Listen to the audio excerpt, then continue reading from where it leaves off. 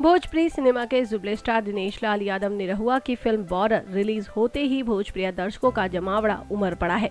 इस फ़िल्म को देखने के लिए और जैसे कि आप लोगों को मालूम है कि फ़िल्म रिलीज़ होने से पहले जुबले स्टार अपने इस फ़िल्म की खुद प्रमोशन जमकर किया था। बिहार के कई क्षेत्रों में निरहुआ अपने इस फ़िल्म का प्रमोशन किए थे। साथ ही निरहुआ के अलावा भोजपुरी के तमाम स्टार्स ने भी इस फ़िल्म का प्रमोशन किया। और अब खबर ऐसी आ रही है कि इस फ़िल्म को रिलीज़ होने के बाद खुद निरहुआ और आम्रपाली भी इस फ़िल्म को देखने जाएँगे। लेकिन इस खबर में कितनी सच्चाई है, इस पर हम कोई पुष्टि नहीं कर सकते। खैर, इतने इंतज़ार करने के बाद फाइनली निरहुआ इसकी साल की सबसे पहली फ़िल्म रिलीज़ हो गई है।